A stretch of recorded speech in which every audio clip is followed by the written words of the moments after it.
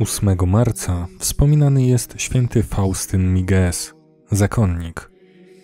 Faustyn urodził się 24 marca 1831 roku w południowej części Hiszpanii. Pochodził z katolickiej rodziny robotniczej. Na chrzcie otrzymał imię Emanuel.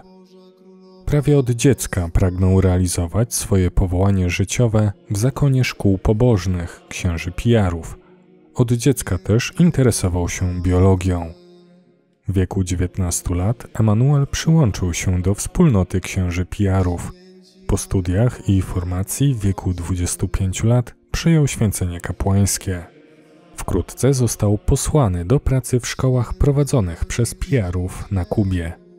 Jednak ze względu na zdrowie Faustyn dość szybko musiał powrócić do rodzinnej Hiszpanii, ale zdążył tam zapoznać się z różnymi roślinami leczniczymi i ich zastosowaniem.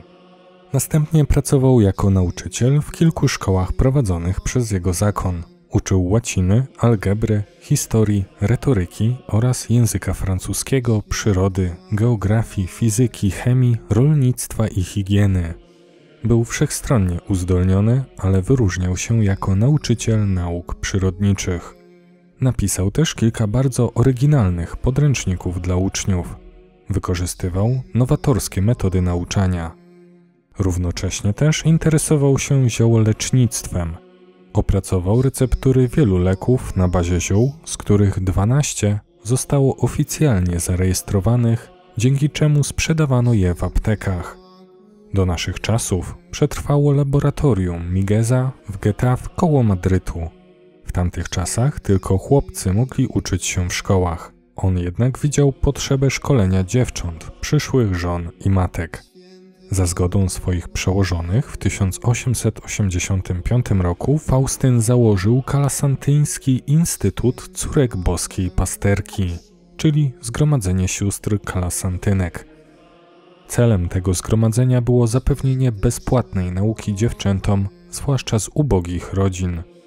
Faustyn nie tylko był wybitnym nauczycielem i zielarzem, ale przede wszystkim był kapłanem – Wiele godzin spowiadał, a ludzie szukali u niego pomocy i rady. Ojciec Faustyn Miges zmarł 8 marca 1925 roku w Getafe koło Madrytu w wieku 94 lat. Został beatyfikowany w Rzymie w 1998 roku, a kanonizowany był 15 października 2017 roku czasie beatyfikacji papież święty Paweł II mówił o nim: Wyrzekając się własnych ambicji, poszedł za Jezusem nauczycielem i poświęcił życie nauczaniu dzieci i młodzieży na wzór świętego Józefa Kalasantego. Jego celem wychowawczym była integralna formacja osoby.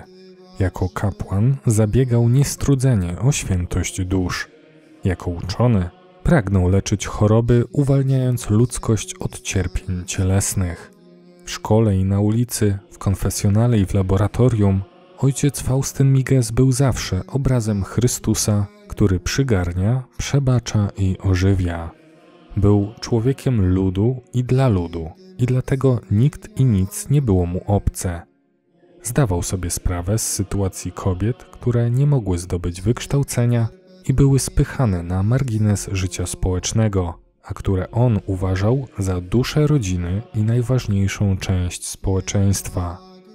Aby prowadzić je od najmłodszych lat drogą rozwoju osobowego i chrześcijańskiego, założył zgromadzenie kalasancjańskie Córek Bożej Pasterki, którego celem jest religijne wychowanie dziewcząt i zapewnienie im podstawowego wykształcenia. Jego świetlany przykład, na który złożyła się modlitwa, nauka i apostolstwo, trwa dzisiaj w świadectwie jego córek i licznych wychowawców, którzy pracując z odwagą i radością kształtują umysły i serca młodych ludzi na obraz Jezusa. Módlmy się.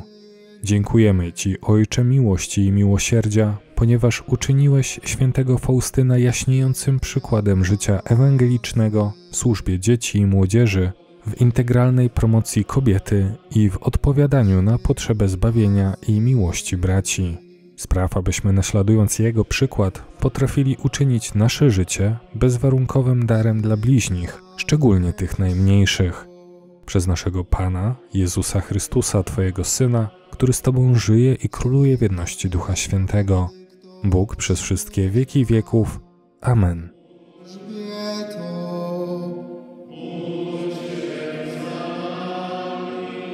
Wszyscy święci, święte Boże.